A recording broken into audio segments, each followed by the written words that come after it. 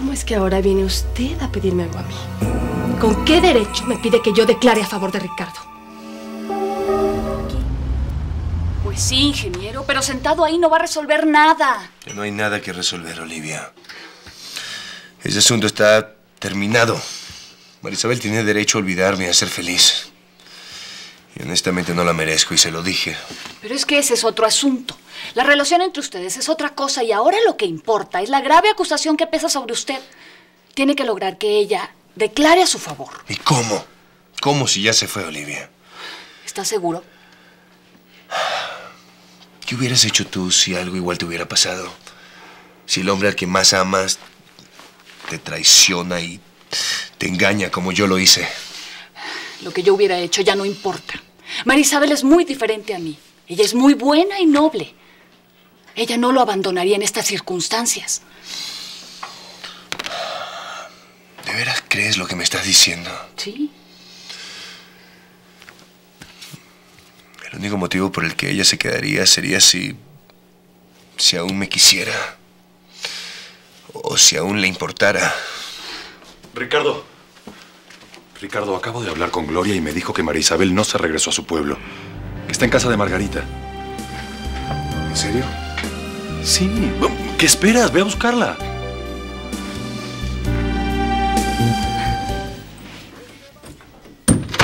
Tómate por lo menos un té. De veras, no quiero nada, Margarita, gracias. ¿Has pensado en lo que te dije, Marisabel? Sí. ¿Y qué decidiste? Gloria me dijo que aquí estabas y necesito urgentemente hablar contigo. Rosaura, ¿por qué entras así? Ay, esos modos no son los adecuados de una dama como usted, con todo su señorío y su educación. No vine a discutir contigo. Vine a decirte que tienes que declarar en favor de Ricardo. Ay, según recuerdo, usted era quien más quería que yo me separara de Ricardo. Y ahora que sus deseos se han cumplido, me imagino que estará muy contenta. ¿Cómo es que ahora viene usted a pedirme algo a mí? ¿Con qué derecho me pide que yo declare a favor de Ricardo?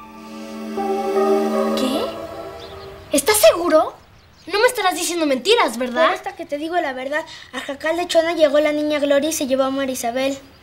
¿A dónde? Pues parece que a la capital. ¿Para qué? ¿Por qué? Eso sí, no sé. Seguro que para que se contente con Ricardo. Para que perdone a su papá. Ay, las mujeres, qué enredadas son con sus líos. Mira, mejor cállate porque tú no sabes nada de la vida. Ay, ¿tú sí? Claro. En primero porque soy más grande que tú. Y en segunda porque soy mujer.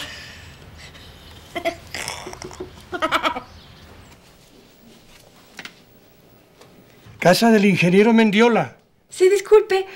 Quiero hablar con la señora Marisabel, por favor. La señora no se encuentra. ¿De parte de quién? Mire, yo sé que está aquí en la ciudad y quisiera hablar con ella, es muy urgente. Soy la directora de la escuela de música. Ah, pues sí. La señora está aquí en la ciudad. Pero no sé si deba decirle dónde. Usted debe ser Jacinto, el jardinero, ¿verdad? Ella siempre me contaba de los ramos de rosas tan lindos que usted le hace. ¿De veras le hablaba de mí? Sí. Y lo mismo de las otras dos muchachas que trabajan en la casa. Le digo en verdad que yo aprecio mucho a Marisabel y ella a mí sé que le va a dar mucho gusto oírme. Está bien, le voy a dar el número donde está, pero no se lo vaya a decir a nadie. Tenga cuidado. A ver.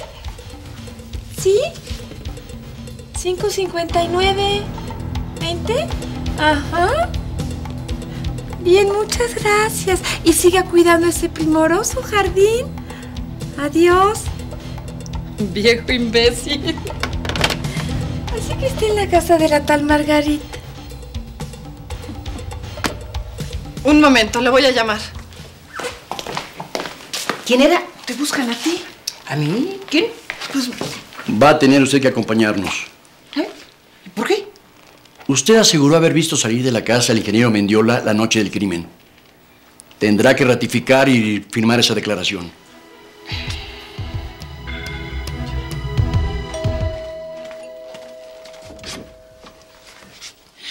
Mira qué sorpresa. Vengo a buscar a Margarita y mira a quién me encuentro. A nuestra querida Marisabel. Qué gusto verte. Usted no vino a visitar a Margarita.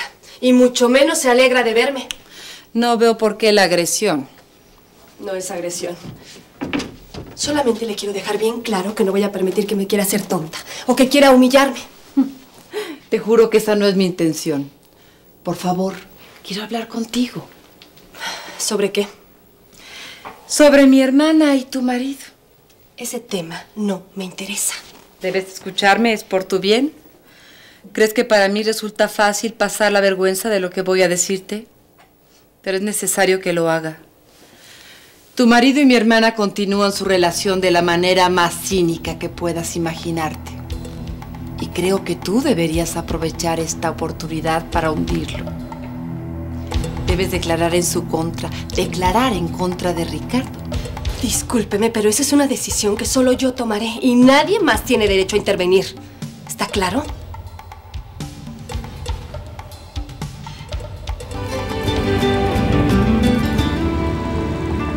Si tú supieras que tu recuerdo me acaricia como el viento, que el corazón se me ha quedado sin palabras para decirte que es tan grande lo que siento.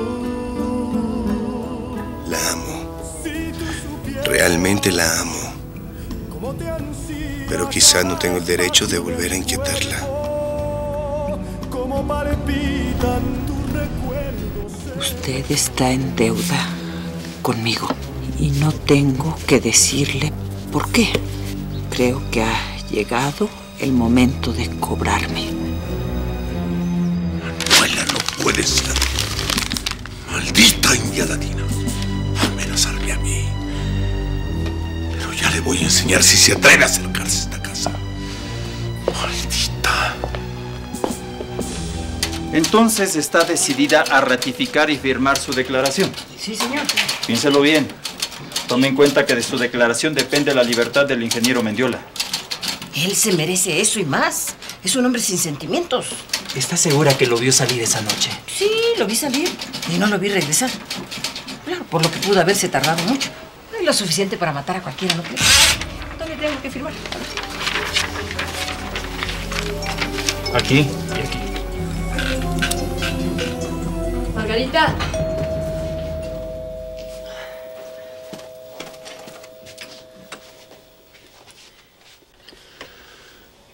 ¿Puedo pasar?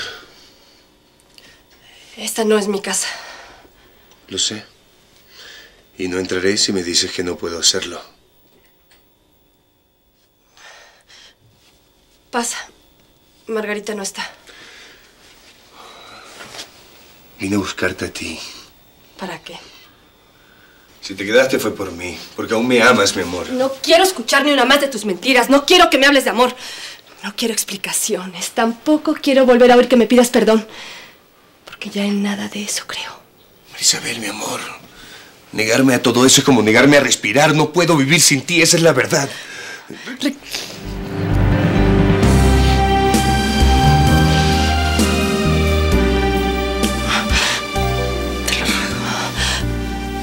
Mi amor, estoy dispuesto a reconquistarte.